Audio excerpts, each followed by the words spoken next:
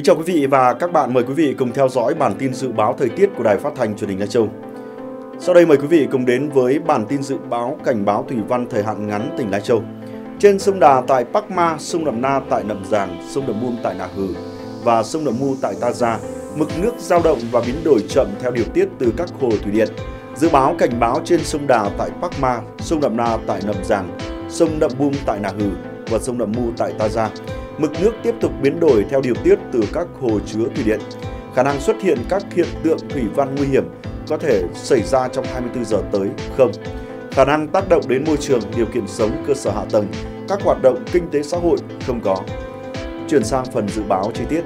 Dự báo trên địa bàn tỉnh Lai Châu, à, trời có mây không mưa ngày nắng gió nhẹ, nhiệt độ phổ biến là từ 14 đến 33 độ, vùng núi cao là từ 13 đến 25 độ, độ ẩm từ 30 đến 95%.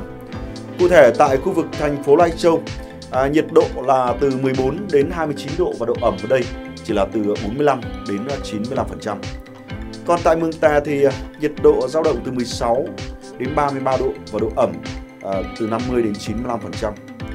Khu vực Sinh Hồ nhiệt độ à, thấp hơn một xíu là từ 13 đến 25 độ và độ ẩm cũng chỉ là từ 50 đến 95%.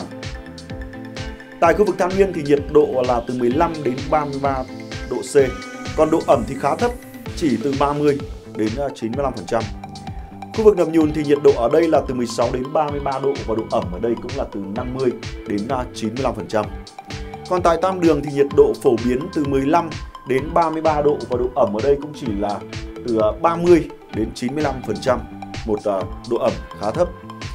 Tân Nguyên nhiệt độ từ 15 đến 33 độ và độ ẩm từ 30 đến 95%. Cuối cùng, À, Phong Thổ nhiệt độ từ 16 đến 33 độ và độ ẩm từ à, 50 đến 95%. Vâng, trên đây là những thông tin dự báo thời tiết của Đài Phát thanh Truyền hình Lai Châu. Cảm ơn quý vị đã dành thời gian quan tâm theo dõi. Xin kính chào và hẹn gặp lại quý vị.